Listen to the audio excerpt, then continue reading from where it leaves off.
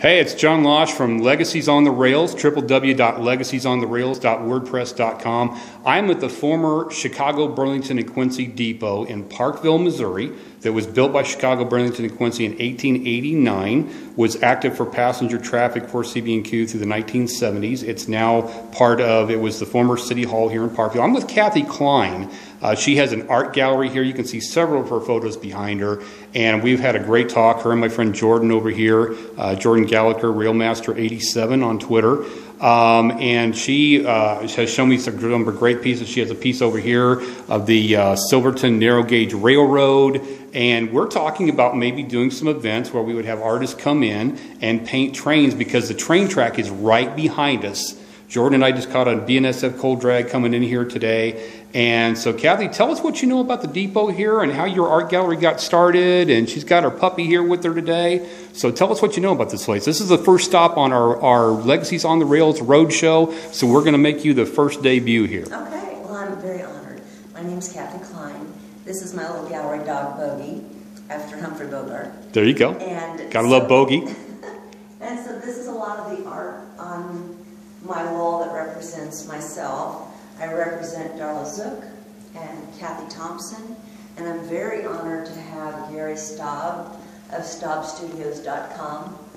And Gary is known for his bronze work and just about any natural science museum that you go into, you're going to find Gary's work. And he works on a very grand scale. His um, dinosaurs and uh, an entire herd of mastodon is in the works right now. Maybe some of you have heard about the in Italy, the Iceman was discovered. Gary will be replicating him as he crawled down into King Tut's tomb and replicated King Tut himself. Um, as we walk around this way a little bit, we come into the, the part of the depot where on this wall, it used to be where they would bring in freight, walk it across this big room and load the trains. And then it came out this door on the other side beneath these windows. And on the other side of this wall is the original brick. And let's go this way and we can see some of Okay. the other points of interest. We'll just follow Bogey here. This is the, in- the um, original depot, I don't know what it's Office. called. The office, and you can see the original rails on the window, the bars, and this is where you would come and purchase your ticket, right here through this little window. And this is now the Chamber of Commerce office, correct? Yes, now it's Okay. the Parkville Area Chamber of Commerce. And as you come in here, this was the waiting room. And people would come in here, and this was also an additional place to buy your ticket. Wow. This is a painting that shows uh, Symphony in the Flint Hills, and it's a little bit of history as well, with an old schoolhouse, the children in the schoolyard playing duck, duck, goose. That's gorgeous. Thank you. Uh, But this shows just a little bit of my work. I teach in this room, and I specialize in portraiture, landscape, still life, Got Jackie Kennedy. and we also do plein air. So this will come up to our fourth year. We're going to be doing art in Parkville, and we'll be partnering with many vineyards and wineries and spirits and have a wonderful art fest, art wine fest.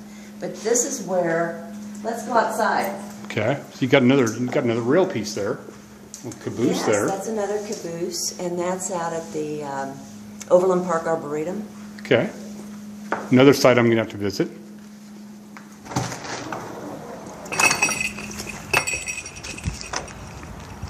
And there's the railroad tracks right there.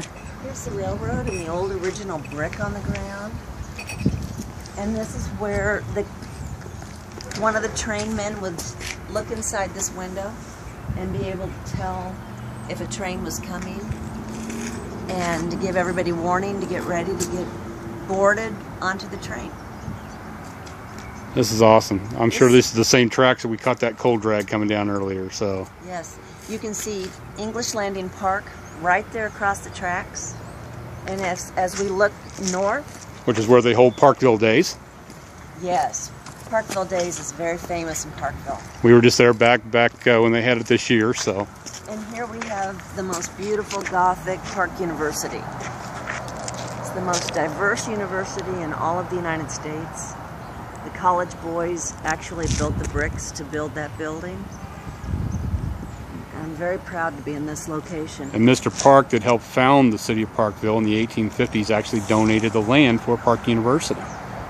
So he came here in the 1830s, and this, like I said, this depot was built by the Chicago, Burlington, and Quincy in 1889. So there's some very diverse history here. So once again, this is the first stop on the Legacies on the Rails Roadshow here with Jordan Gallacher and Cathy Kline here in Parkville, Missouri.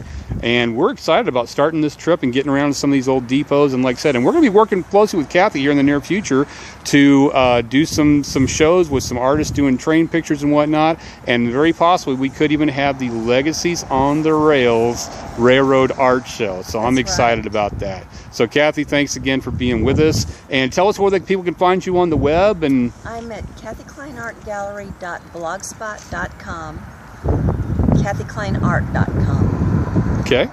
And it's so nice to meet you. You too. We appreciate you you being on the Legacies on the Road Rails Road Show today. Thanks, Cathy. Thank appreciate it. Bye bye.